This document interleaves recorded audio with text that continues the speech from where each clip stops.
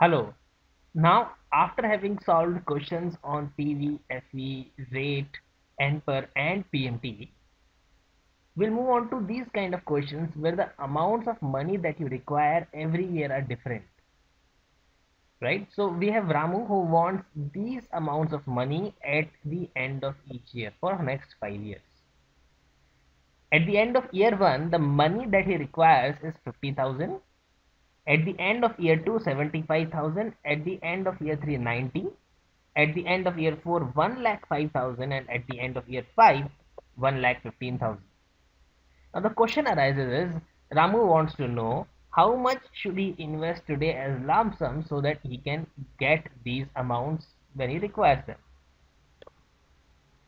So what do we do? Can we use this series as pmt no. The pmt is clearly clearly defined as an amount which is equal always.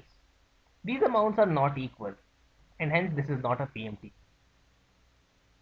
for a moment let's think of these as five different questions.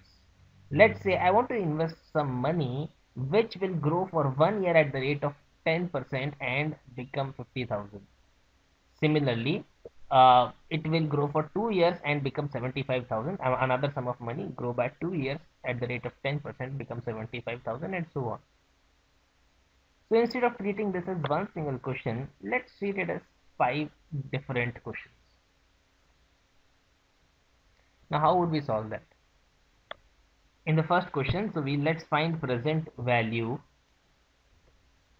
where rate as given is 10 percent and then uh, we have NPER 1 but instead of typing as 1 we will take NPER from B4 right? This will help us drag and we will be saved from the botheration of calculating again and again. Right? So Excel does that repetitive work. Future value that we need is 50,000 rupees. Uh, type is meaningless without being without the PMT being there.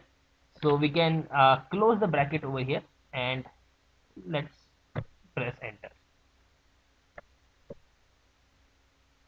So 45,454 rupees is required so which can become 550,000 in next one year.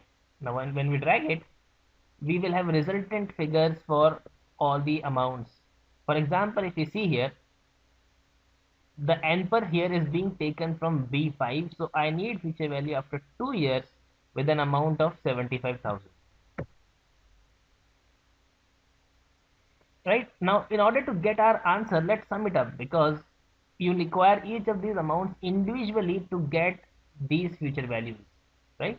So when we sum it up is equal to sum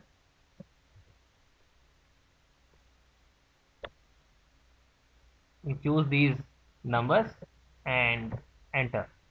So you need 3 lakh 18,178 rupees which can be invested to get 50,000 at the end of year 1, 75 at the end of year 2 and so on. Now uh, let's just put a negative sign here before sum so that the answer comes in as a positive value. Okay, now let's go on to a function called as NPV which will help us do the same thing in relatively lesser time and easily. Now NPV stands for net present value. Now this function is also a function to find PV. It's not something different than PV. But it is used in precisely these places where an amount can't be classified as a single future value or as a PMT. So uh, let me demonstrate the usage is equal to NPV net present value uh, open the bracket it is asking you for two things. One is rate and another is values. Now values can be n number value 1 value 2 value 3 as you keep on typing you can continue to type. So first let's put the rate in 10 percent and then values. Now you can keep on typing values one by one but there'll be little bit of tedious. So what we can also do is we can click on the first value which in this case is cell C4 now as you click C4 appears here. And then press shift and down arrow key together till the time all your values are selected. So now you see all your values have been selected and uh, over here you can read C4 colon C8 bracket close and enter. So you got the absolutely same answer for the same question right? In a much faster way. Okay. Now let's change this question a little bit and then see what happens. In this question we were supposed to calculate assuming that these amounts were required at end of each year. Year 1 2 3 4 5 what if these amounts are required at beginning of each year? NPV function has one crucial shortcoming. Unlike our regular PVFE function it doesn't have any type column. It just has two uh, data points. One is rate and another is values. So what do you do? Well uh, NPV function always assumes that the value given to it in the first column or value 1 is value at the end of year 1 now if uh, I were to change this question and ask you what is the amount that you need if these monies were required beginning of each month each year? Then what would you do? You would say that 50000 is required at point 0 okay that is beginning of year 1 75000 is required at beginning of year 2 which is also end of year 1 and then 2 3 and 4 so each amount is required one year early you will find the answer corresponding answer has changed to 3 lakh 49,996 can we do this using NPV as well? Well we there is a little simple thing that we can do.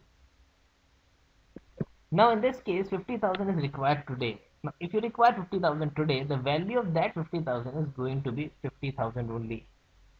So let's not bother much about it. Let's go on to the next amount incidentally this amount which is required at beginning of year 2 is also the amount at end of the year because they are two same things right? Beginning of year 2 and end of year 1 so what we will do is we will calculate our NPV from this amount. So is equal to NPV bracket open. Uh, let's key in the rate which is 10 percent and then values starting from the value at the end of year 1 not beginning of year 1 and if there is nothing coming at end of year 1 we'll have to type start with 0 right? So shift and down arrow key. So that's c5 colon c8 ignoring the value in c4 uh, bracket close and enter. Your answers have still not matched and the reason for that is that we will need to add the initial 50,000 also which is required right now. Right? So we have ignored that. Now 2,99,996 plus the initial 50,000 so that makes it 3,49,996.58 so now as you can see it is again matching. So using NPV function we can find out present value of uneven cash flows now in the next session, we will try and find out future value of similar amounts. Thank you.